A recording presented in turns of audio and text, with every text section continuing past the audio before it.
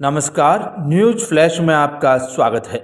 बढ़ते हैं आज की ताज़ा खबरों की ओर। लोकसभा चुनाव 2024 के तहत जिला निर्वाचन अधिकारी नागौर के निर्देशानुसार सहायक रिटर्निंग अधिकारी एवं एसडीएम मकराना सुनील कुमार ने मकराना में मतदान केंद्रों का निरीक्षण कर सुविधाओं का जायजा लिया।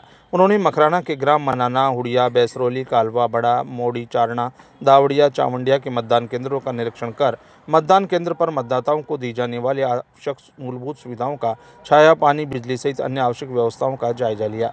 चुनाव शाखा कर्मचारी प्रकाश परेवा ने बताया कि निरीक्षण के दौरान मतदान केंद्रों पर मतदान के समय आपातकालीन लाइट, टेंट लगवाने सहित अन्य कमियों को पूरा करने के दिशा निर्देश दिए।